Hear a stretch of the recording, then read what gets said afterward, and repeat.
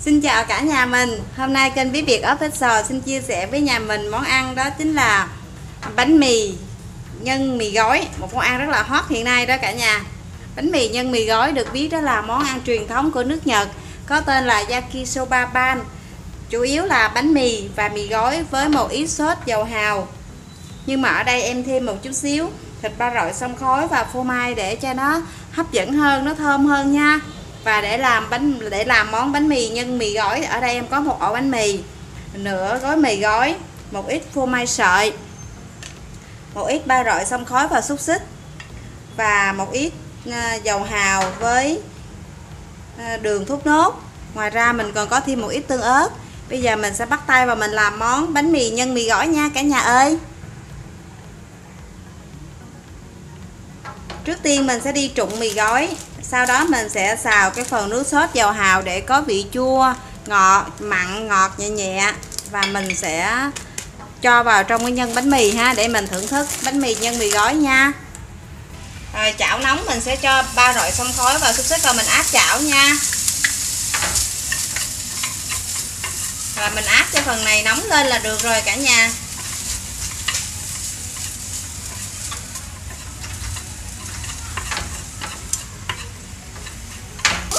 Rồi mình áp chảo xong rồi nó vừa chín tới ha. Nó giòn lên rồi mình mang ra ngoài. Rồi mình rắc lên một ít phô mai phô mai sợi á cả nhà, cho nó thơm hơn. Rồi nóng là tự tan chảy ra rồi ha. Mình tắt bếp mình để ra ngoài. Chảo đó mình cho một chút xíu dầu hào và một chút xíu đường vô mình nấu nước sốt ha. Vì ở trong dầu hào nó hơi mặn đó, mình phải có đường để mình giữ vị lại. Rồi mình cho vào đây một chút xíu nước và mình pha phần nước sốt này để chút xíu, mình trang lên trên bánh mì á.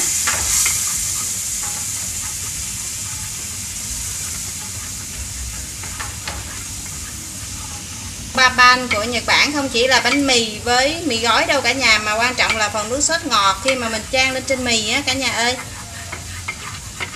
Rồi mình nấu cái phần nước sốt này sánh sánh lại xíu ha. Nhẹ, hơi mặn mặn thôi.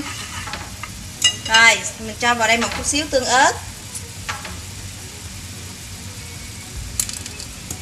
Cả nhà thử nấu món bánh mì. Nhân nhân mì gói giống như em thử đi ăn thấy nó vị rất là lạ. Món đó, món ăn đang rất là hot hiện nay đó cả nhà. Rồi vào nước sốt kem vừa ăn rồi đó cả nhà nó sánh mịn lại nào có vị thơm của dầu hào mặn mặn ngọt ngọt của đường và một chút xíu theo theo lưỡi của tương ớt. Mình tắt bếp nha. Rồi bây giờ mình sẽ cho mì gói mình đã trụng vào ở trong phần à, À, ba rọi xông khói ha, mình trộn lên. Đây, cả nhà, ở trong đây có ba rọi xông khói nè, có một ít phô mai. Rồi mình trộn lên ha. Sau đó mình rưới nước sốt lên nè. Mình rưới phần nước sốt mình mới vừa nấu xong đó. Mình rưới lên trên mì, rưới một ít lên trên mì, vậy nè, mình trộn đều cho nó ngấm, nó thấm ha. Rồi. Rồi, và đây là phần nhân của bánh mì đó cả nhà. Cái ngon ở chỗ nước sốt á rồi, mình để sang bên ha. Giờ mình sẽ cắt ổi mì thôi.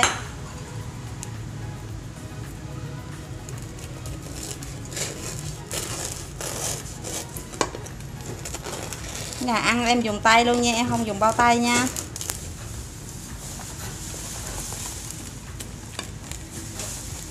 Rồi, mình mở ổi mì ra.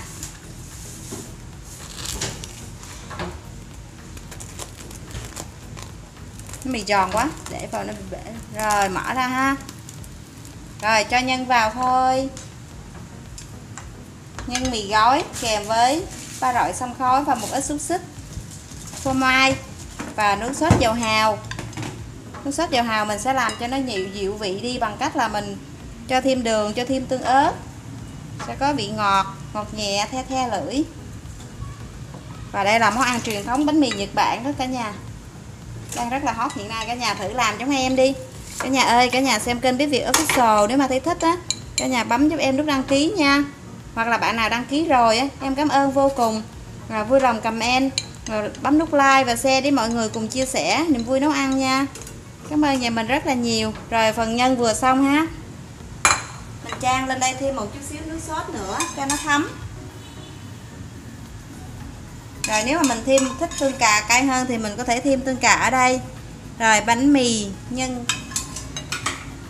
bánh mì nhân ờ, mì gói đã xong rồi, để để cho nó thơm hơn thì mình cho vào đây ít hành tím. Rồi món yakisoba pan của em đã xong. Xin mời cả nhà thưởng thức nha.